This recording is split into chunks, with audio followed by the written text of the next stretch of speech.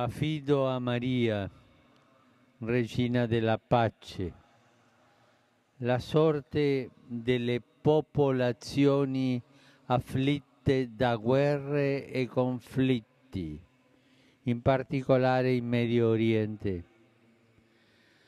Tante persone innocenti sono duramente provate, sia cristiane, sia musulmane, sia appartenenti a minoranze come i giazzidi, i quali subiscono tragiche violenze e discriminazioni.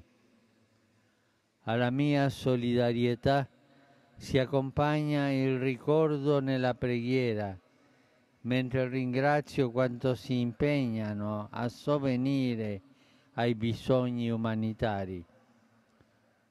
Incoraggio le diverse comunità a percorrere la strada del dialogo e dell'amicizia sociale per costruire un futuro di rispetto, di sicurezza, di pace, lontano da ogni sorte di guerra.